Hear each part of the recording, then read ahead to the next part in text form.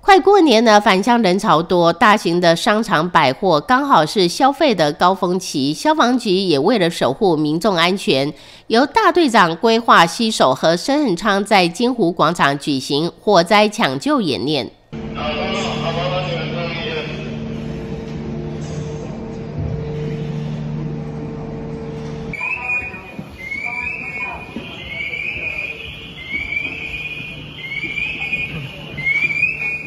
农历春节将近，为加强大型场所的公消防公共安全，那我们消防局第二大队特别在今日结合生人仓办理一个场所智慧消防编组演练。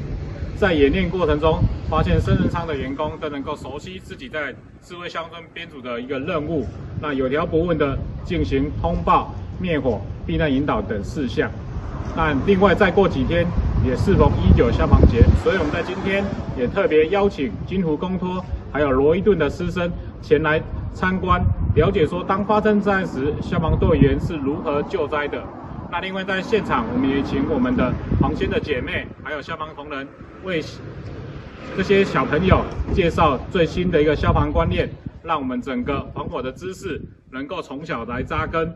而这一回动员是很长金湖广场的员工，以及洛伊顿幼儿园，还有金湖公托，还有直销义销，人力超过一百人参加抢救演练，整个过程非常逼真，有效达到演练的成效。